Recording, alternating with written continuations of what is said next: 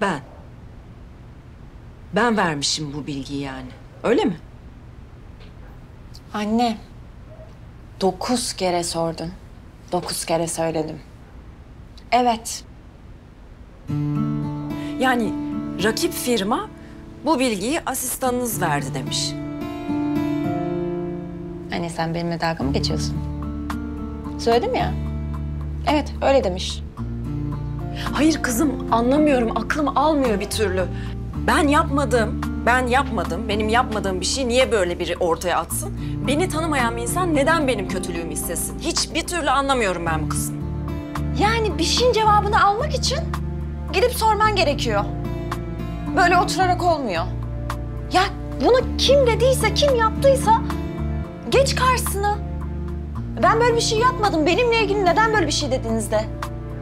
Eğer üşeniyorsan, demek istemiyorsan otur. Ağla böyle kendi haline. Yok yok. Sen çok haklısın. Çok haklısın. Ben bunu gidip soracağım ve bu işi halledeceğim. Göreceksin bak. Ay benim annem bu. Lütfen göster artık Suzan Manyaslı kimmiş?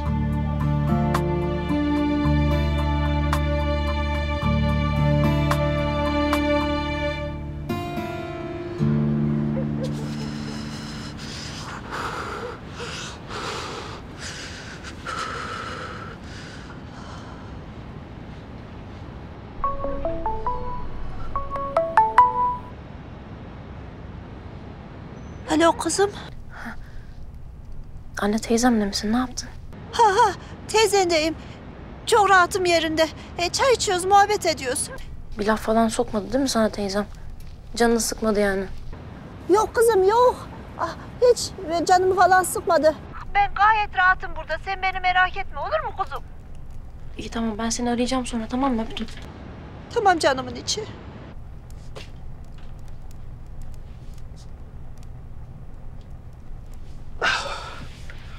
Ananla mı konuşuyordun?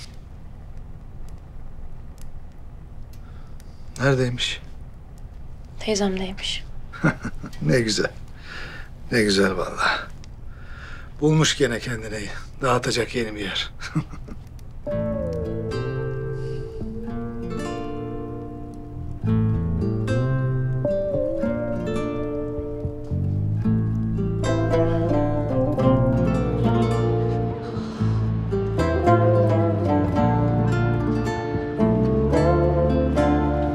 Música